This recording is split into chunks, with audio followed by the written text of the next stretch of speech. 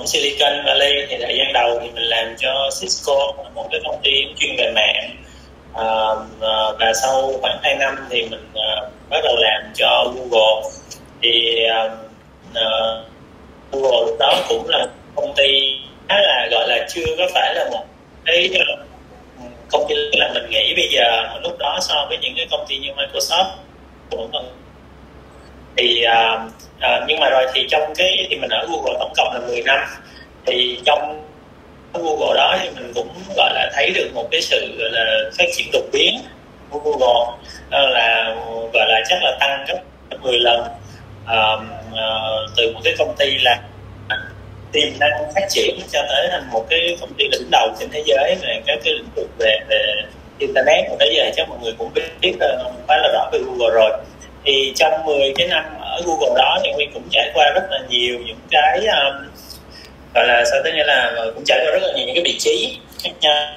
Rồi kỹ sư uh, bắt đầu rồi từ từ thì uh, lên những cái sư sau rồi sau đó là quản lý rồi sau đó là uh, uh, quản lý cấp cao và có thời gian thì là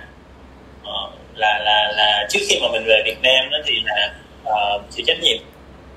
một cái mảng về Android về uh, về cái tai nghe Android á à, là lúc đó là Huy là người chịu trách nhiệm chính thì uh, có cả văn phòng ở Thụy Sĩ Mỹ với lại Đài Loan đó. thì uh, uh, sau đó thì Huy về Việt Nam thì uh,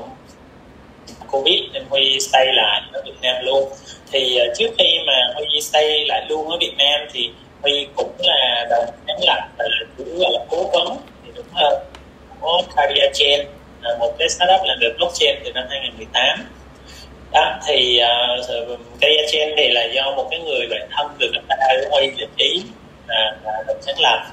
Thì tới năm 2020 đầu năm 20 cuối năm 2019 đó, lúc mà về Việt Nam thì uh, kẹt lại.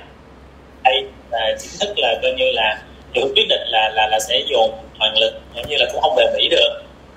Thì dồn sức để mà cùng phát triển cái cái Cadia Chain với là trí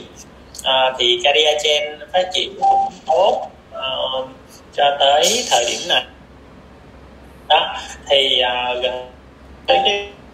hiệp hội blockchain ra đời thì à, huy cũng đồng thời là là là một trong những cái thành viên vận động hiệp hội từ những ngày đầu. Và thì khi mà hiệp hội được thành lập thì là uh,